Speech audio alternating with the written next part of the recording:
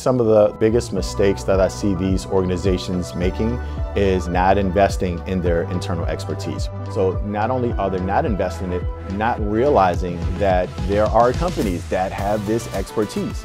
Optimal Networks, right? There are companies that you can go to and you can get an assessment done. You can get a gap analysis done and let you know exactly what you're missing, what you could be benefiting from. You don't necessarily have to have the expertise in-house. There are companies that can provide that for you.